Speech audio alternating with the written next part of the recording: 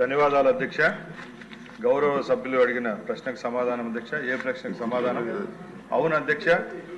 ఏపీఎస్ఆర్టీసీలో డ్రైవర్లు మరియు కండక్టర్ల కొరత ఉంది అధ్యక్ష.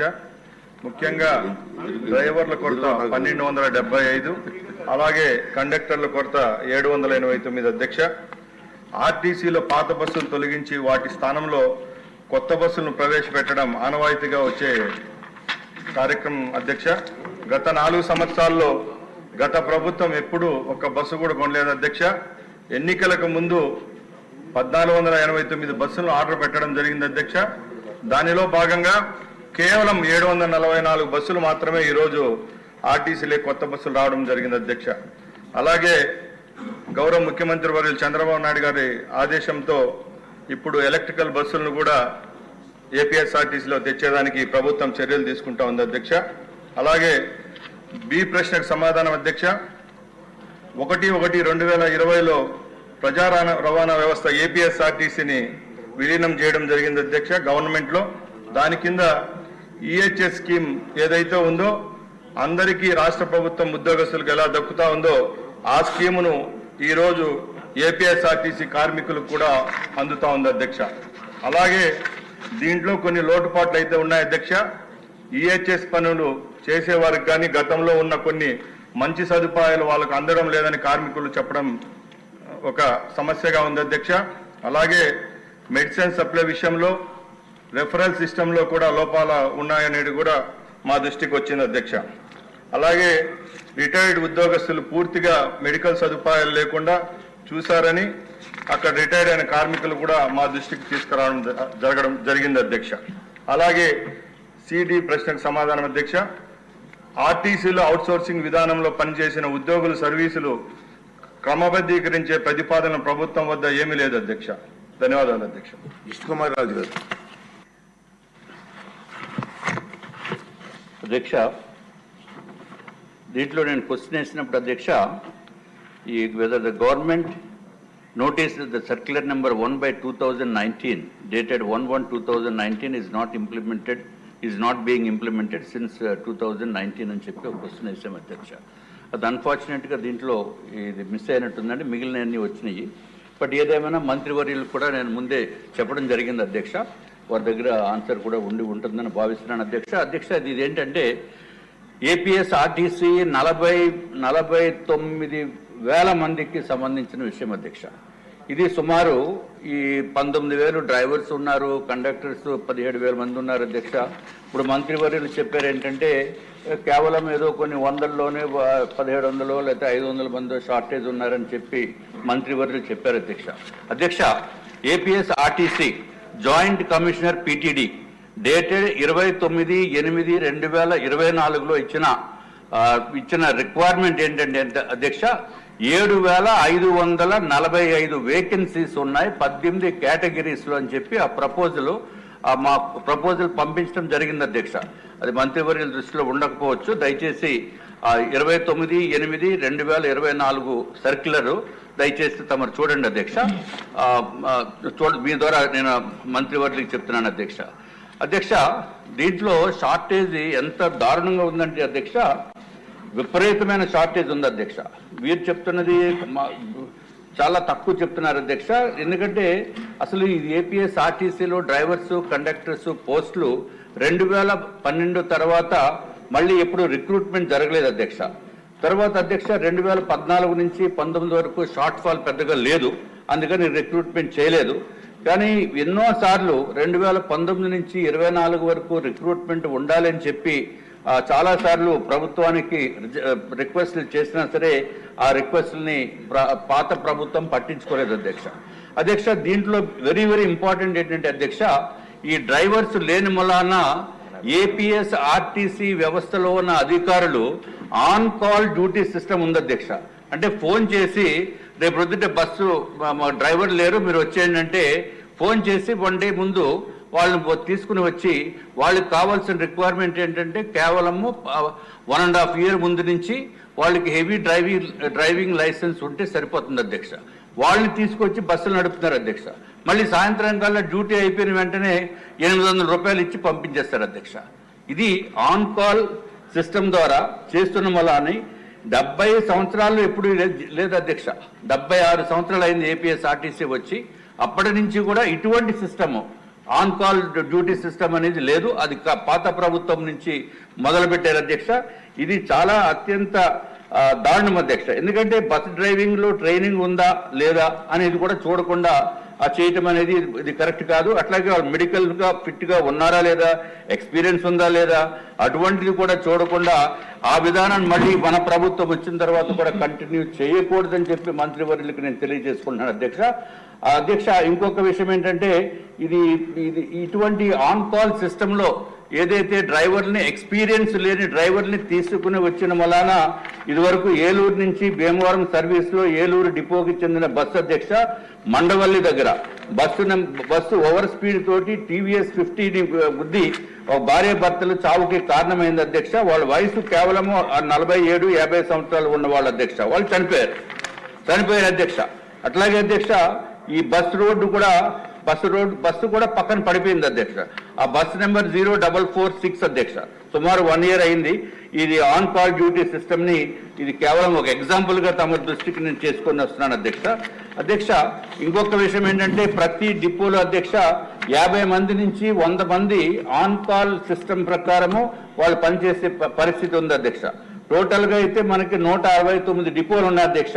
అంటే సుమారు ఆరు వేల మంది నుంచి ఏడు వేల మంది ఆన్ కాల్ డ్యూటీ సిస్టమ్లో పనిచేస్తున్నారు అధ్యక్ష. ఇది వాళ్ళని కావాలంటే రెగ్యులరైజ్ చేసి వాళ్ళకి పూర్తి ట్రైనింగ్ ఇచ్చి రెగ్యులరైజ్ చేసి ప్రజల సురక్షితంగా ప్రయాణం చేసేటట్టు తీర్చిదిద్దవలసిన బాధ్యత ఏపీఎస్ ఆర్టీసీ అధికారుల పైన ఉంది అధ్యక్ష. అధ్యక్ష క్లోజ్ చేస్తాను అధ్యక్ష. అధ్యక్ష ఇంకొక వెరీ వెరీ ఇంపార్టెంట్ ఏంటంటే అధ్యక్ష ఈ one of two thousand ninety one of two thousand ninety six అధ్యక్ష.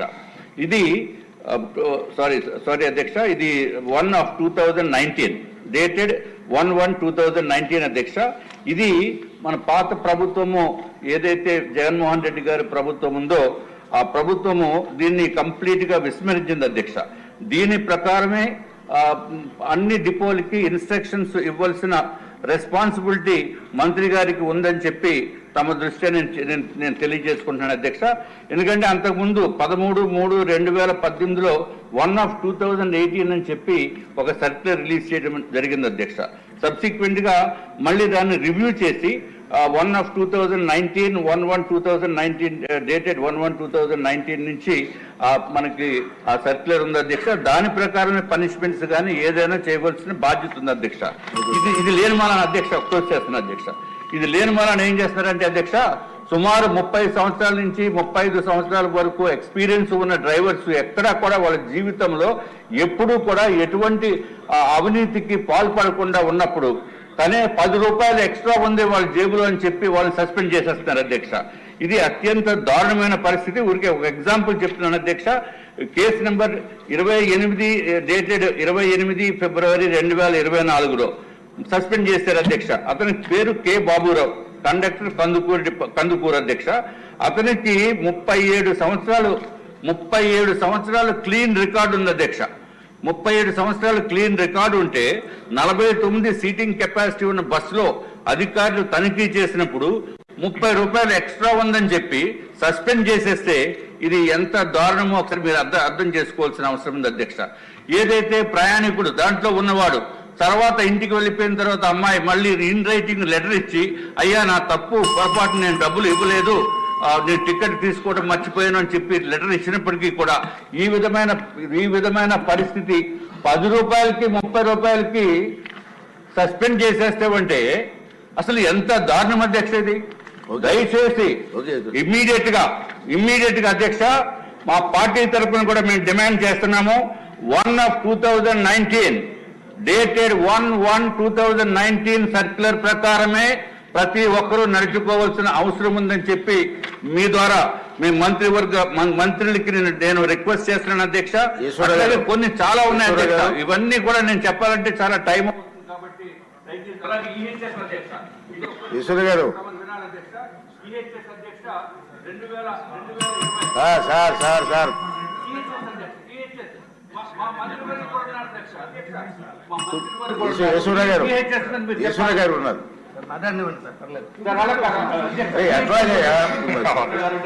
నెక్స్ట్ సార్, మీరు మాట్లాడిన తర్వాత మినిస్టర్ ఆన్సర్ ఇస్తారు వారికి లేదు ఇంకా. కూర్చోండి. మాట్లాడండి. నెక్స్ట్ మంత్రి గారు మీదే అధ్యక్ష అధ్యక్ష ఈహెచ్ఎస్ ఈహెచ్ఎస్ ఏంటంటే అంతకుముందు ఎంప్లాయీస్ హెల్త్ స్కీమ్ అధ్యక్ష ఇది. ఇదివరకు ఏపీఎస్ఆర్టీసీ ప్రభుత్వంలోకి విలీనం అవ్వకముందు వాళ్ళకి అన్ని సదుపాయాలు ఎక్కడ వాళ్ళకి ఏపీఎస్ఆర్టీసీలో ఉన్న హాస్పిటల్స్ దగ్గరికి వెళ్తే రిఫరల్ ఇచ్చి వాళ్ళకి మంచి వైద్యం వచ్చేది అధ్యక్ష. ఈ ఎప్పుడైతే ప్రభుత్వంలోకి విలీనం అయిపోయిందో ఏపీఎస్ఆర్టీసీ వాళ్ళు ఎక్కడికి వెళ్ళినా మాకు ఆ పేమెంట్లు ఇవ్వలేదు అంతకుముందు. అందుకని మీకు ఇక్కడ మేము ట్రీట్మెంట్ చేయము మీరు బయటికి పోండి. అంటే వాళ్ళకి పాపం ఎక్కడికి వెళ్ళాలో తెలియనటువంటి పరిస్థితి బయటికి వెళ్తే ప్రైవేట్ హాస్పిటల్స్కి వెళ్తే విపరీతమైన ఆ పేమెంట్ డబ్బులు అయిపోతున్న పరిస్థితి కూడా ఉంది. వాళ్ళకి రిఫండ్ రాదు. కాబట్టి రిక్వెస్ట్ ఏంటంటే అధ్యక్ష? ఏదైతే అంతకుముందు ఏపీఎస్ ఆర్టీసీలో ఉండేదో అదే విధంగా ఇప్పుడు కూడా ఫాలో అవ్వాల్సిందిగా మంత్రి వర్యులు నేను కోరుకుంటున్నాను అధ్యక్ష. ఇదివరకు కూడా నేను లాస్ట్ సమావేశంలో కూడా. మా- మా మంత్రి వర్యులను కూడా ఆరోగ్య శాఖ మంత్రి వర్యులను కూడా అడిగాను అధ్యక్ష. ఆయన కూడా చూస్తామన్నారు. ఇప్పుడు ఇద్దరు మంత్రులు పక్క పక్కనే ఉన్నారు కాబట్టి దయచేసి కూడబలుక్కుని రేపు నుంచే అమలు అయ్యేటట్టు చూడవలసిందిగా మిమ్మల్ని కోరుతున్నాం అధ్యక్ష. ధన్యవాదాలు అధ్యక్ష. గత ఇరవై సంవత్సరాలుగా అన్ని రకాలుగా నిర్లక్ష్యానికి గురైన నియోజకవర్గం ఏదైనా ఉందంటే అందరికీ తెలిసిన నియోజకవర్గం గుడివాడ అయితే ఇక్కడ క్వశ్చన్ అవర్లో వచ్చే ప్రతి ప్రశ్నలోనూ గుడివాడ ప్రజలు బాధలు కనపడుతున్నాయి అధ్యక్ష. అందులో ప్రధానంగా బస్ స్టాండ్ అనేది ఒక మేజర్ సమస్య గుడివాడకి రెండు లక్షల మంది జనాభా ఉన్న గుడివాడ బస్ నా ఎప్పుడో పంతొమ్మిది వందల ఎనభై మూడులో ఆధునీకరించబడింది అధ్యక్ష. ఎన్టీ ఎన్టీ రామారావు గారి హాయంలో అప్పటి నుంచి ఒక్క రూపాయి కూడా దాని మీద ఖర్చు పెట్టిన ఇది లేదు. అంతేకాకుండా చాలా దారుణంగా దారుణమైన పరిస్థితులు నెలకొని ఉన్నాయి అధ్యక్ష. కొద్దిపాటి వర్షానికి పెద్ద వాన కూడా అవసరం లేదు అధ్యక్ష. నాలుగు చినుకులు పడితేనే మీరు ఒకసారి చూసుకుంటే నాలుగు అడుగుల పైన నీళ్ళు అక్కడ నిలిచిపోతే అధ్యక్ష. చూడండి ఎలాంటి వే- ఎలాంటి దారుణమైన పరిస్థితులు ఉన్నాయో. రవాణా శాఖ మంత్రులు వారు కూడా ఇది ఈ- ఫొటోస్ కూడా వచ్చి ఒకసారి ఇచ్చి ఆయన కూడా దీని మీద పరిశీలించవలసిందిగా కోరుతా ఉన్నాను అధ్యక్ష. అయితే ఇరవై స్టాండ్ అనేది అత్యంత మినిస్టర్ గారికి ఫోటోలు పంపించండి. ఏదైనా మినిస్టర్ గారికి ఆ ఫోటోలు పంపించండి. ఫోటోలు పంపిస్తున్నాను అధ్యక్ష. తప్పకుండా ఈ ఇది ఇంతకు ముందు పాత గవర్నమెంట్లో బస్ స్టాండ్కి మరి మరి డిపో రెండింటికి శాంక్షన్ శాంక్షన్ ఇచ్చామని చెప్పేసి పేపర్ మీద చెప్పడం జరిగింది అధ్యక్ష. ముందుగా ప్రజలు అత్యంత బాధపడే బస్ స్టాండ్ వదిలేసి వెనక డబ్బులు ఎక్కువ మిగిలితే అని చెప్పేసి తొమ్మిది కోట్ల వ్యయంతో మూడు ఎకరాలు జస్ట్ ల్యాండ్ ఫిల్లింగ్ చేసి ఒక డిపో కట్టేసి ముందు ముందు కట్టేసి డబ్బులు దండుకున్న పరిస్థితి అధ్యక్ష గుడివాడలో. బస్ స్టాండ్ అవసరమైన ప్రజలకు అవసరమైన బస్ స్టాండ్ మాత్రం అలాగే మిగిలిపోయింది అధ్యక్ష. దాని గురించి పట్టించుకున్న నాదులు లేరు. అప్పటి నుంచి ఏ రోజు మన అంటే రోజు చూస్తూనే ఉంటాం. ఇది మాత్రం మీరు దయచేసి అధ్యక్ష చాలా ఇంపార్టెంట్ అధ్యక్ష ప్లీజ్ మాకు చాలా కష్టాల్లో ఉన్నాం.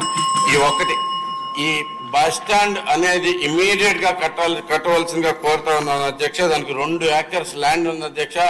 పీపీపీ మోడల్ వర్కౌట్ అయ్యే పరిస్థితి లేదు అధ్యక్ష గుడివాడికి. ఎందుకంటే అతి చిన్న అత్యంత తక్కువ జనసాంద్రత ఉంటుంది అధ్యక్ష. సో దయచేసి బస్ స్టాండ్కి వెంటనే విడుదల విడుదల చేయాల్సిందిగా కోరుతా ఉన్నాను. థ్యాంక్ యూ అధ్యక్ష.